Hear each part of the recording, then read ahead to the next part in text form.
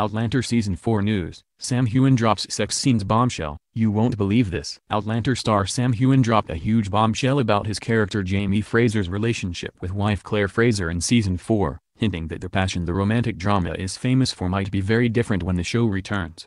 Outlander fans have been eagerly waiting for bosses to drop the more hints about the star's time-traveling series' fourth outing, and last weekend the cast and crew gathered in LA to do just that. Appearing at an event for the Hollywood Academy's Emmys consideration panel, Scottish actor Sam, 37, teased that things might have slowed down in the romance department.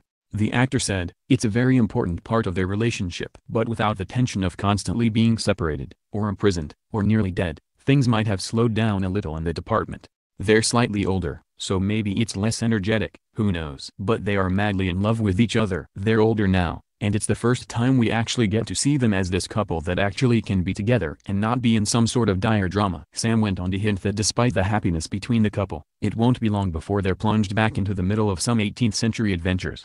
Up until now, there's always been something going on, he said. It's nice, for a brief moment, to see them be able to relax in each other's company, though of course it's Outlander, so it doesn't last long. Fans of Diana Gabaldon's book series, of which the show is based on, will already know how Jamie and Claire's, Caitriona Balfe, reunion with their daughter Brianna Fraser, Sophie Skelton, is set to go down, but it'll bring some surprises.